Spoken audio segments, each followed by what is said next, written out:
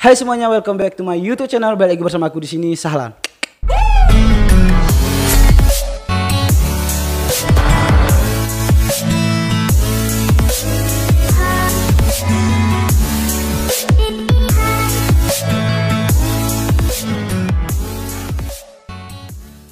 Assalamualaikum warahmatullahi wabarakatuh. Buat teman-teman aku dari Sabang sampai Merauke buat akak, macik, pacik siapa pun kalian mau video ini selalu harap hal keadaan sehat dan baik-baik saja tentunya. Dan selamat menunaikan ibadah puasa bagi yang menjalankannya. So jadi bagi yang jomblo semoga tidak jomblo lagi gitu ya. Nah jadi di video kali ini sesuai dengan judul yang kalian lihat jadi di sini kita akan coba react dua video sekaligus tentunya sesuai requestan-requestan kalian atau permintaan-permintaan kalian akan kita react di channel ini gitu ya. Nah jadi video yang pertama adalah 5 tempat paling cantik di Malaysia seiras luar negara yang ramai tidak tahu gitu. Jadi orang negara Malaysia pun gimana ya eh, nggak e, tahu bahwasanya di negaranya sendiri ada wahana dan wisata-wisata seiras atau setara dengan negara-negara luar gitu. Dan video yang keduanya ialah lima artis Malaysia merupakan anak Datu Tan Sri. Nah, jadi di sini lima Tan Sri ini mempunyai masing-masing uh, anak seorang artis gitu. So jadi tanpa berlama-lama lagi langsung aja kita tonton videonya gitu. Jadi bagi kalian yang baru singgah channel ini jangan lupa klik tombol subscribe terlebih dahulu untuk membangun channel ini dan membuat salam lebih bersemangat. Nah, jadi video yang pertama kita coba react dari lima tempat paling cantik di negara Malaysia seiras luar negara yang ramai tak tahu gitu. 3 2 1 mulai let's go. Tahniah Alham anda telah memenangi giveaway duit dari admin. Sila DM Instagram Top 5 Malaysia untuk tuntutan hadiah. Mulai hari ini, selang satu video admin akan buat giveaway sebanyak RM50 untuk menyertai tekan like, subscribe, butang loceng dan lihat syarat pada ruang komen. Ramai orang Malaysia suka melancong sehingga ke luar negara. Namun mereka tidak tahu bahawa di Malaysia juga mempunyai tempat-tempat yang menarik sama seperti negara-negara di luar. Di sini terdapat 5 tempat paling cantik di Malaysia yang ramai 5 tempat Malaysia yang ramai tidak tahu. Okey. Top 5 Malaysia. Sekiranya anda meminati konten-konten gaming yang lawak dan menghiburkan dan video-video travel vlog luar negara yang menarik seperti di Turki, Jepun dan Korea, admin sarankan subscribe pada channel You Senpai ini. Channel ini juga ada membuat review kursi gaming paling berbaloi di Malaysia serendah RM600 sahaja. Nombor 5, Pulau Sipadan. Pulau, Pulau Sipadang, Sabah. Sabah seperti Pulau Mabul. Anak Sabah silahkan komentar di bawah.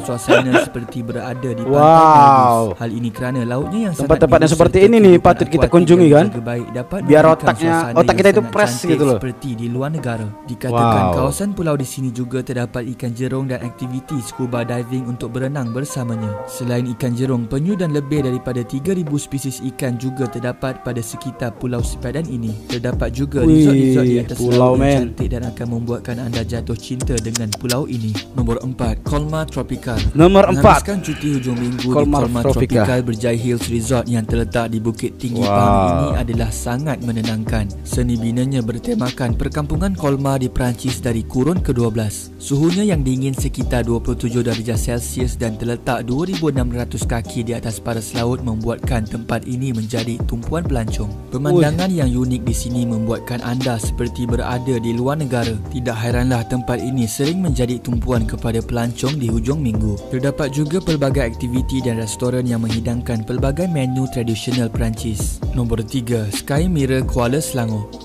Pulau Misteri Kuala ini terletak di kampung sasaran yang merupakan sebuah perkampungan nelayan masyarakat Cina Kuala Selangor. Tempat ini dikatakan Wee. seperti di Sala de Uyuni di Bolivia dan merupakan tarikan terkini kepada pelancong di sekitar Selangor. Bagi peminat fotografi pula, anda tidak perlu travel ke luar negara semata-mata untuk mendapatkan seni foto Skymira ini. Keluasan beting pasir ini umpama 50 padang bola sepak. Untuk sampai ke sini, anda perlu menaiki bot lebih kurang 30 minit dari jeti kampung sasaran di Kuala Selangor. Sky Mirror. Padang Nomor 2 Padang Pasir. Selain kota Klebang. Formosa, John Kewok Padang Pasir. dan lain pelancong gemar sekali berkunjung ke Padang Pasir yang terletak di pesisir pantai Klebang, Melaka ini. Pasir Pemandangan putih pasir ya? putih dengan langit membiru sangat berbaloi untuk uh. bergambar kerana ia memberikan suasana seperti berada di tanah gurun Sahara. Ramai juga menjadikan tarikan ini sebagai tempat mengambil gambar perkahwinan dan biasanya ketika matahari terbit atau terbenam. Wow. Padang pasir ini berhampiran dengan pantai pantai Kelebang dan perjalanannya hanya mengambil 15 minit sahaja dari bandar minit. Melaka dengan menaiki kereta.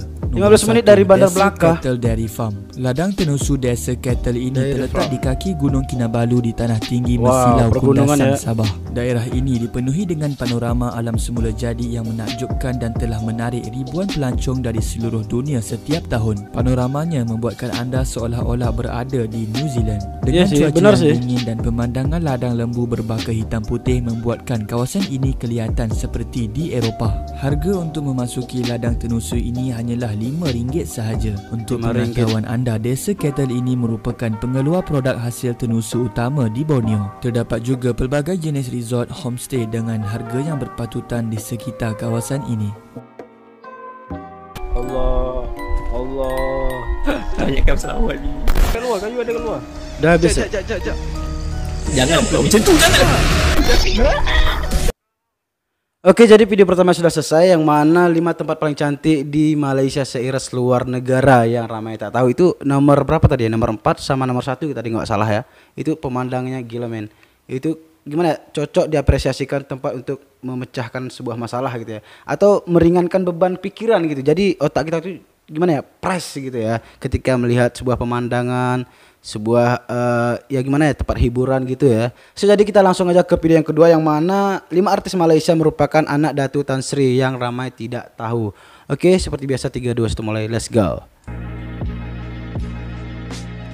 Anda sedang menonton jadi jadi uh, gimana ya? Jadi bagi kalian yang mau nonton video aslinya aku sudah link di dalam description box aku ya. Najwa Mahyadin. Najwa, Najwa Mahyadin. yang berumur 33 tahun atau Yang nomor 5 adalah anak dari Datuk Tan Sri Muhyiddin Yassin ya. Tanggal 26 April tahun 1986. Dia seorang artis seorang penyanyi dan penerbit rakaman kelahiran Malaysia. Najwa lebih senang dikenali sebagai artis biasa yang bermula daripada bawah dan tidak mahu menggunakan nama bapanya bagi meraih benar benar benar benar benar. Sepanjang kerjayanya, beliau telah mendapat pengiktirafan artis baru terbaik dan lagu Inggeris tempatan terbaik melalui Anugerah Industri Muzik ke-18. Selain itu, Najwa merupakan anak kepada bekas Timbalan Perdana Menteri Malaysia ya, iaitu Perdana Tan Menteri Muhyiddin Yassin. Bapanya merupakan Menteri Dalam Negeri Malaysia dalam Kerajaan Persekutuan Malaysia yang diterajui oleh Parti Ini ramai ni, ramai yang sayang kepada ramai yang sayang dan cinta kepada Datuk Tan Sri Muhyiddin Yassin ya. Presiden Parti Pribumi Bersatu Malaysia. Nombor 5, Dafi. Nombor 5, Ismail Sabri yang Ismail berumur Sabri. 31 tahun atau lebih dikenali sebagai Dafi dilahirkan pada 14 Disember tahun 1988. Beliau merupakan peserta Akademi Fantasia musim kelima. Beliau juga merupakan anak lelaki kepada Yang Berhormat Datuk Ismail Sabri Yaakob. Bapanya telah memulakan kerjayanya sebagai seorang peguam dan pernah dilantik sebagai Menteri Perdagangan Dalam Negeri, Koperasi dan Kepenggunaan pada 9 April tahun 2009. Menurutnya, menjadi anak menteri memang beruntung tetapi dia lebih senang berdikari tanpa mengharapkan bantuan bapanya. Kini, Duffy mempunyai perniagaan baru iaitu House of Paradox yang membiak dan menjual kucing di Petaling Jaya.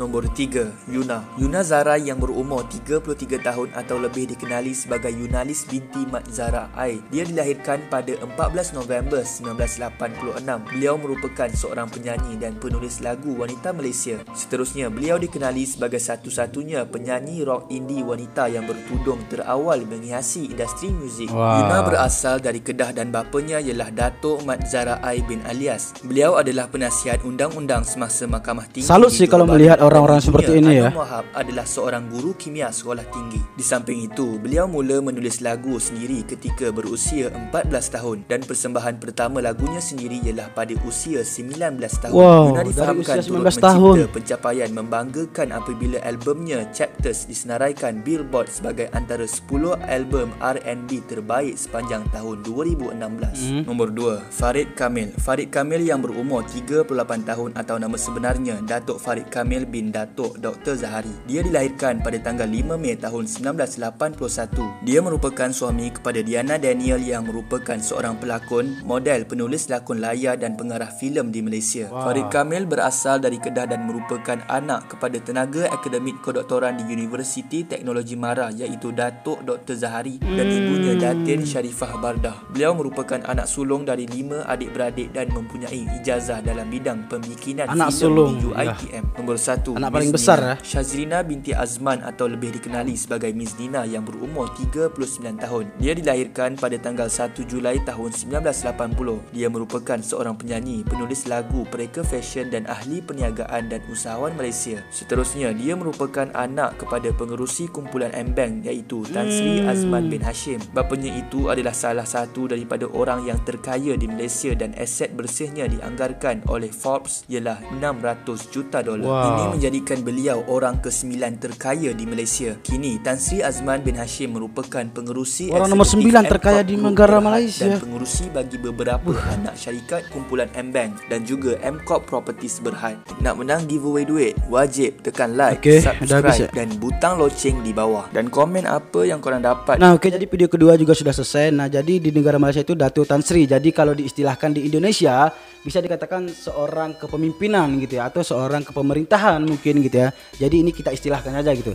Jadi di sini uh, bisa dikatakan seorang kepemimpinan. Lima kepemimpinan ini masing-masing mempunyai seorang anak yaitu berjiwa kepada seorang artis gitu. Jadi uh, kalau kita pikir-pikir sih kebanyakan di era tahun zaman sekarang ini yang mana zaman semakin modern gitu ya yang mana kebanyakan ketika seorang ayah sudah menjadi seorang kepemimpinan kebanyakan seorang anak itu uh, hidup di bawah naungan orang tuanya gitu ya gimana ya suksesnya itu berasal dari orang tuanya gitu.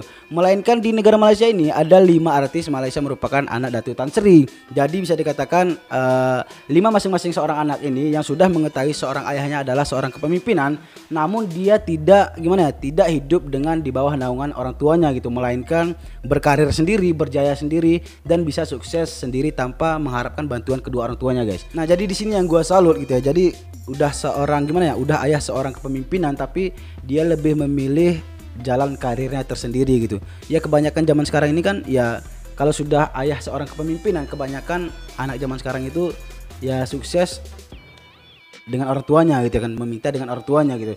So jadi bagi kalian yang mau video ini termasuk gua sendiri admin sendiri semoga bisa sukses dan ya tanpa harus mengharapkan kedua orang tua gitu. Amin ya rabbal alamin.